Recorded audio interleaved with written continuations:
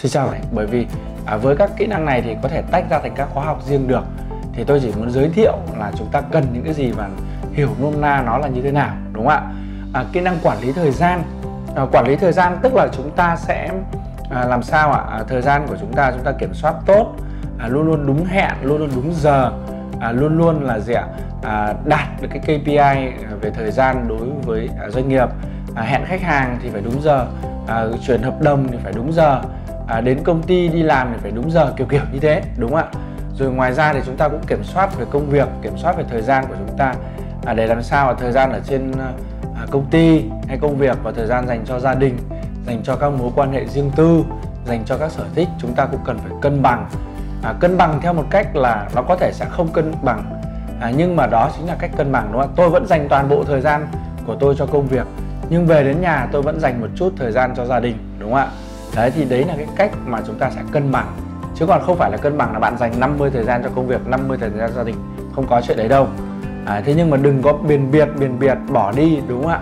Vâng và quay trở lại thì chúng ta đã mất đi rất là nhiều thứ có giá trị và có ý nghĩa. À, chúng ta luôn luôn hiểu rằng là gì ạ? À, chúng ta làm những cái điều đó để cho là ai cho vấn đề gì vì những cái điều gì đúng không ạ? Chúng ta làm việc tốt chúng ta có thu nhập chúng ta có địa vị bản thân chúng ta được thăng tiến thì những cái điều đó sẽ lan tỏa đến à, gia đình chúng ta. Thì à, chúng ta phải nhớ rằng chúng ta đang làm việc vì điều gì đúng không ạ? À, chúng ta tìm kiếm sự hạnh phúc đó. Mà hạnh phúc thì chúng ta cần phải biết quản trị cảm xúc. À, quản trị cảm xúc là như nào? Trong quá trình đi làm nó sẽ không tránh khỏi những cái va chạm những cái xung đột những cái lời nói xấu à, những cái thất bại những cái đổ bể những cái mất tiền đau thương vân vân. Thì chúng ta phải biết quản cảm trị cảm xúc là chúng ta đặt các cảm xúc xuống đặt những cái cảm xúc tiêu cực xuống xua nó đi và đưa những cảm xúc tích cực lên để chúng ta lấy lại những cái tinh thần và năng lượng. Đó ví dụ như là nếu mà chúng ta không biết quản trị cảm xúc kiểu này thì à, những cái xung đột nho nhỏ những cái à, vấn đề nho nhỏ trong công việc thôi chúng ta cũng đã à, rất là to tiếng thậm chí đánh chửi cãi vã nhau đúng không ạ? Chúng ta không biết tha thứ vân vân vân vân kiểu như thế. Thì đấy là những cái mà tôi tôi ý tôi nói là về cảm xúc. À, cảm xúc trong công việc cảm xúc trong tình yêu cảm xúc trong à, cái chuyện riêng tư của chúng ta vân vân chúng ta phải biết cách chúng ta làm cho cuộc sống của chúng ta tốt hơn đúng không ạ? À, kỹ năng lập kế hoạch. Và lập kế hoạch. À, chúng ta phải biết lập kế hoạch marketing biết lập kế hoạch kinh doanh biết lập kế hoạch một chương trình một chiến dịch. À, chúng ta phải tạo lập các KPI như thế nào đo lường ra sao thời gian và tiền bạc vân vân. Thì cái kỹ năng lập kế hoạch này thì tôi cũng đã có một khóa học thực tế là kỹ năng à, lập kế hoạch chiến lược kinh doanh và marketing. À, tôi show cho các bạn xem rất nhiều các cái à, kế hoạch à, chi tiết của của doanh nghiệp của tôi thì các bạn có thể tham khảo à, các bạn có thể học hỏi thêm. À, các bạn luôn luôn nhớ rằng là học hỏi là không bao giờ là à, đủ đúng không ạ? Và không bao giờ đủ mình phải học của người này người khác nữa. Và các cái kỹ năng thuyết trình trình bày vấn đề đúng không ạ? À, ví dụ như đi làm thì chúng ta phải trình bày với sếp về giải pháp của chúng ta chúng ta trình bày với khách hàng về ý tưởng của chúng ta chúng ta trình bày với đồng nghiệp về kế hoạch của chúng ta và chúng ta phải bảo vệ nó. Đấy, thế thì chúng ta phải có kỹ năng à, về nói về nghe về nhìn về giải quyết về trả lời các câu hỏi à, lập luận đúng không ạ? Phản bác à, đứng tại hội thảo như thế nào vân vân. Thì đó là những cái kỹ năng thuyết trình kỹ năng trình bày. À, kèm theo nó là bạn phải làm powerpoint bạn phải làm media tốt để thuyết phục à, khách hàng rất tốt đúng không ạ? Vâng. À, kỹ năng về pháp lý và hợp đồng. À, trong quá trình đi làm chúng ta sẽ giao kết hợp đồng rất nhiều chúng ta cần phải có các kỹ năng hiểu biết căn bản về hợp đồng à, về các cái vấn đề về pháp lý để chúng ta biết rằng là đây là cái à, business nó có tốt hay không tốt nó có vi phạm pháp luật hay không. Những cái gì mà vi phạm pháp luật thì các bạn tuyệt đối không làm. À, các bạn cần phải biết để tránh việc sau này chúng ta sẽ bị à, đi theo các cái vết xe đổ. À, chúng ta thấy đấy ví dụ như trong lĩnh vực tài chính ngân hàng thì ờ, rất nhiều các vấn đề liên quan đến tài chính, đúng không ạ? Liên quan đến các cái rủi ro về pháp lý.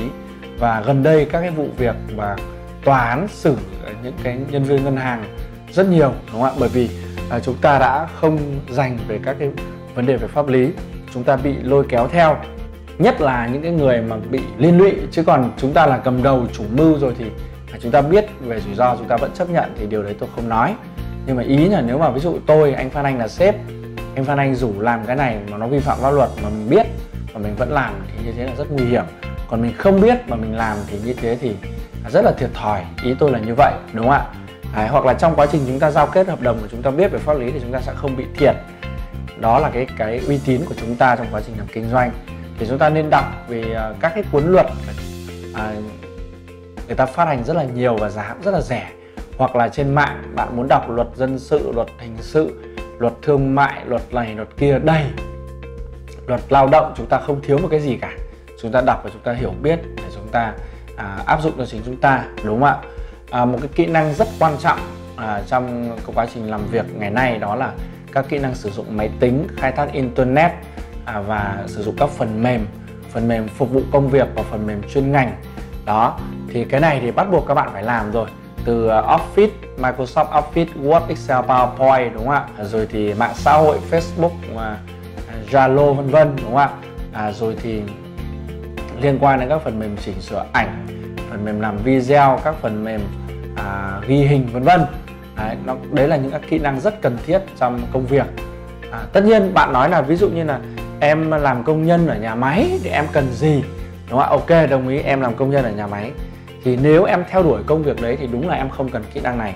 Nhưng em muốn trở thành một nhân sự cao cấp em muốn nhận mức lương 1 ngàn, 2 ngàn, 3 ngàn đô la trở lên.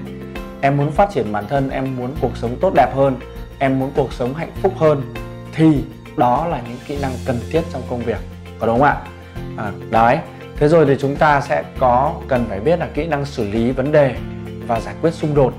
Bởi vì các bạn biết rằng là trong quá trình đi làm thì không có một cái việc gì nó giống việc gì cả à, hôm nay nó có một cái xung đột này hôm nay nó có cái vấn đề này. À, thế thì chúng ta phải luôn luôn là phải tìm cách để vượt qua nó giải quyết nó đúng không ạ? Thí dụ tôi chỉ nói một cái ví dụ đơn giản như thế này. Ừ. à, tôi đang ngồi với khách hàng. À, hôm đó là tôi không mang theo sổ bút đúng không ạ? À, thì vì vì chúng tôi đi uống cà phê thôi nhưng mà chúng tôi bàn một câu chuyện hay là chúng tôi rất là muốn là có một cái bút và cái sổ à, để trao đổi. Thế thì à, tôi bảo với bạn là nhân viên của bà lại tiếp tục nói rằng là tôi có hai đứa con gái. Cô đưa cho tôi một cuốn sách thì hai đứa nó tranh nhau à? Và đây chính là cái mà tôi ấn tượng ở, ở cái tình tiết này đó chính là cô ấy cô cô trợ lý cô đã nói là à, tôi đã in thành ba cuốn. Hai cuốn đã đưa cho con bà và các con bà đã đăng trên tàu và đang đọc rồi. Còn cuốn này tôi in sẵn đề phòng là bà cần thiết bà muốn đọc thì bà này bà ấy không nói được câu gì. Thì đấy chính là cái tình tiết mà tôi muốn nói là kỹ năng xử lý vấn đề nó phải là như thế. Đúng không ạ? Rồi chúng ta phải xử lý xung đột đấy. Xung đột trong công việc xung đột về lợi ích xung đột về mâu thuẫn xung đột về tình cảm. À, trong quá trình chúng ta đi làm. À, thế thì chúng ta sẽ cần phải học những điều đó để chúng ta kiểm soát cảm xúc đúng không ạ? Kiểm soát và sử dụng các tư duy tích cực để chúng ta à, xử lý xung đột dựa trên tinh thần hòa giải tích cực và đừng có ôm những cái điều đấy vào làm gì cho nó khổ ra đúng không ạ? Rồi thì chúng ta phải có những tư duy tích cực. Tư duy tích cực là gì? Chúng ta luôn luôn nhìn những điều tốt đẹp luôn luôn nhìn thấy những điều tốt đẹp trong con người luôn luôn nhìn thấy những cái sự tích cực. Đừng có nghi ngờ đừng có suy nghĩ đừng có quá lo lắng. Nhưng điều đấy không có nghĩa việc là bạn trở nên ngây thơ chất phác thật thà đúng không ạ? Vâng. Bạn tích cực tức là bạn biết người ta làm sai làm hỏng. Và bạn à, bỏ qua đúng không ạ? Bạn nói là đấy như thế này như thế kia bạn nhìn nhận câu chuyện và bạn giải thích nó bạn à, giúp đỡ người ta. Đấy chính là cách mà mình gọi là tư duy tích cực. Chứ không phải tích cực là ai mình cũng tin ai mình cũng yêu ai mình cũng mến. À, theo cách là mình khờ khạo và bị người ta lừa gạt đúng không ạ? Tích cực không có nghĩa là mình sẽ trở nên khờ khạo. Đấy tôi luôn luôn có những tư duy rất tích cực đúng không ạ? Tôi luôn luôn đánh giá vấn đề rất là tốt ví dụ thế. Nhưng không có nghĩa là người khác có thể lừa gạt tôi đúng không ạ? Và à, một cái kỹ năng nữa rất là quan trọng trong cái uh, xã hội hiện đại ngày nay đấy là chúng ta phải biết xây dựng mạng lưới và phát triển các mối quan hệ à, chúng ta năng đi hội thảo chúng ta lên mạng chúng ta kết bạn chúng ta làm thân và chúng ta học hỏi à, chúng ta cà phê chúng ta trò chuyện chúng ta đến văn phòng của họ tham quan chúng ta học hỏi thậm chí chúng ta đến nhà riêng của người ta để chúng ta học hỏi à, theo một cái lối rất là tích cực là chúng ta mở rộng mối quan hệ các mối quan hệ càng càng nhiều về số lượng à, tốt về mặt chất lượng đúng không ạ và à, phù hợp với cái lĩnh vực của mình. À, để là chúng ta làm có thể làm như vậy được chưa ạ? Vâng. Thế rồi thì à, chúng ta phải học các kỹ năng ra quyết định. Người ta nói là gì? Cuộc đời bản chất là các quyết định. Đúng không ạ? Bạn quyết định yêu người con gái này lấy người con gái này. Yêu người đàn ông này lấy người đàn ông này thì sướng khổ nó là ở cái quyết định đó. Đúng không ạ? Bạn quyết định làm việc cho công ty này thì à, thu nhập cao hay thu nhập thấp là do cái quyết định đó. À, cũng là một tài năng giống nhau là sinh viên ra trường nhưng có người vào công ty này được phát triển, có người vào công ty này thì mãi lụi bại. Bởi vì công ty kia nó cứ ăn nên làm ra, ăn nên làm ra, người chủ người ta rất tốt. Còn công ty này thì cứ lụi bại lụi bại, người chủ người ta rất là là khó khăn. Đấy tôi nói thí dụ như thế, đấy gọi là các kỹ năng ra quyết định. Quyết định đúng hay sai chúng ta đôi khi không biết. Và chúng ta dựa trên các kinh nghiệm, dựa trên các thông số và dựa trên cái việc chúng ta chấp nhận các rủi ro. Quyết định đầu tư, quyết định đi làm, quyết định gắn bó hay quyết định rời bỏ đấy là các quyết định của mình. Kể cả trong mối quan hệ cá nhân quyết định chơi với người này không chơi với người kia yêu người này không yêu người kia bỏ người này lấy người kia vân vân. Đấy là các quyết định mà nó sẽ ảnh hưởng đến trực tiếp cuộc sống chất lượng sống hạnh phúc cảm xúc tiền bạc và cái sự phát triển lâu dài của chúng ta. Cho nên chúng ta cần phải học các kỹ năng ra quyết định. Được chưa ạ? À, chúng ta cũng cần phải có các kỹ năng xây dựng thương hiệu cá nhân để bán bản thân chúng ta ngày càng tốt hơn có giá hơn đúng không ạ? À, việc làm cv để làm uh, xây dựng thương hiệu cá nhân ở trên facebook uh, trên instagram trên website trên youtube rất là tốt đúng không ạ? Thế rồi chúng ta cũng cần phải uh, biết về quản trị tài chính cá nhân. À, nhiều người cứ đi làm suốt có lương cao nhưng không có à, thu nhập không có tích lũy. Và đến khi 40 50 tuổi quay lại không có một khoản tích lũy nào. Thì như vậy đấy là vấn đề về quản trị tài chính cá nhân không tốt. À, ăn nhiều tiêu nhiều chơi nhiều không biết tiết kiệm không biết đầu tư à, không biết sinh lời không biết tiền để ra tiền à, không biết đầu tư cho bản thân mình không biết đầu tư cho con cái đúng không ạ? Vân vân vân vân. Thế ngược lại có những người thì người ta biết chi tiêu tầm tiện nhưng người ta lại không kiếm được tiền.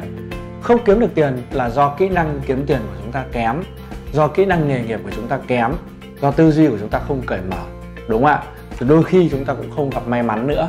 Đấy thì cái kỹ năng quản trị tài chính cá nhân cũng không khó. Các bạn có thể đọc và học ở trên mạng và các bạn tuân thủ theo nó.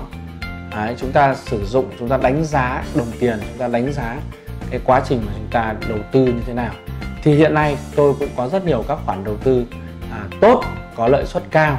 Nếu như các bạn đang xem video này mà các bạn có khoản tiền nhàn rỗi các bạn có thể liên hệ với tôi để tôi sẽ tư vấn cho các bạn. Ờ, các bạn tham khảo một số những cái loại hình đầu tư có thể giúp các bạn sinh lời à, giúp các bạn à, có thể cải thiện được cái à, thu nhập của mình thông qua cái việc quản trị tài chính cá nhân. Tất nhiên các bạn nhớ rằng là cái việc tôi tư vấn là chỉ mang tính chất tham khảo. Còn ai là người quyết định chính các bạn là người quyết định. Ai là người sẽ nhận lợi nhuận chính các bạn là người lợi nhuận. Ai là người sẽ chịu rủi ro chính các bạn là người chịu rủi ro.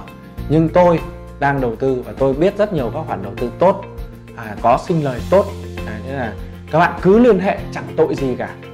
Biết thêm thông tin là tốt còn mình sẽ đánh giá mình sẽ ra quyết định sau đúng không? Ví dụ như là đầu tư về coin đúng không? Bitcoin các đồng tiền ảo các quỹ đầu tư mở à, đầu tư bất động sản à, đầu tư à, về à, chứng khoán đầu tư về forex ngoại hối vân vân. À, tôi đều đã có thời gian đi học về nó à, ở nước ngoài cũng như ở trong nước và đang hoạt động trong lĩnh vực này cũng lâu rồi. Cũng khá là tốt đúng không ạ? Vâng đấy thì các bạn có thể liên hệ qua email fananhonline.gmail số điện thoại 0989 62388 đúng không ạ? À, Facebook Phan Anh Online hay là, là kênh YouTube và PA Marketing website pamarketing.vn kiểu kiểu như thế. Và cuối cùng đấy là các bạn cần phải biết hoạch định lập kế hoạch cho cuộc đời của mình. À, nghe có vẻ ghê gớm và xa xôi nhưng mà chúng ta sẽ hiểu nôm na nó đúng không ạ? À, chúng ta muốn gì muốn đạt được điều gì muốn có những cái gì vào thời gian nào chính là KPI về cuộc đời của chúng ta. Được chưa ạ? Vâng. Thế thì đó là một số những cái kinh nghiệm mà tôi chia sẻ với các bạn về kỹ năng làm việc. Tôi tin rằng nếu như các bạn có những à, đầy đủ những kỹ năng này về mặt số lượng và à, chất lượng là ở mức độ trung bình trở lên thì à, việc tìm kiếm việc làm và có thu nhập tốt có cuộc sống tốt là tôi tin vào điều đấy. Đúng không ạ? Bởi vì bản thân tôi cũng là một người mà xuất phát điểm là rất khó khăn gia đình rất nghèo à, và tôi tin vào những điều này tôi học hỏi những điều này thì à, bây giờ thì nói thật là tôi cũng chẳng có tiền bạc gì cả. À, thế nhưng mà tôi thấy rằng là tôi đã đi đúng hướng. À, tôi được làm những công việc tôi yêu thích. À, tôi ờ, có khả năng à, tạo ra việc làm cho chính mình tạo ra thu nhập cho chính mình. À, thu nhập ở mức độ tốt so với mặt bằng chung của xã hội. Chứ còn nếu mà so với những nhà đầu tư so với người này người kia thì nó rất là khó đúng không ạ? Các cụ luôn nói là trông lên thì chẳng bằng ai mà trông xuống thì chẳng ai bằng mình. Thế thì chúng ta cứ hài lòng với những cái mục tiêu chúng ta đề ra là được. À, ví dụ như bằng cấp học vấn à, uy tín thu nhập mà cuộc sống riêng tư à, đi du lịch hiểu biết vân vân vân vân. Đấy chúng ta à, cảm thấy chúng ta đang đi đúng hướng. Tức là cuộc sống của chúng ta là tốt đẹp. À, mục tiêu của chúng ta là hạnh phúc. Hạnh phúc là một hành trình không phải là đích đến à, cuộc sống của chúng ta trở nên tốt đẹp và có ý nghĩa hơn đó chính là chúng ta đã sống một cuộc đời à, tốt đẹp đúng không ạ? Và với mong muốn đem đến cho các bạn những kiến thức kinh nghiệm trải nghiệm những lời khuyên à, mang tính chất cơ bản. À, tôi đã sản xuất ra cái series video này à, và cả những bài học như vậy à, rất mong à, có thể làm bạn với mọi người để mở rộng mối quan hệ chia sẻ à, hiểu biết của tôi với mọi người và cùng nhau à, giúp cho cuộc sống của chúng ta tốt đẹp hơn à, một lần nữa xin được cảm ơn các bạn đã theo dõi video này. Xin chào và hẹn gặp lại các bạn trong bài học tiếp theo. Xin cảm ơn.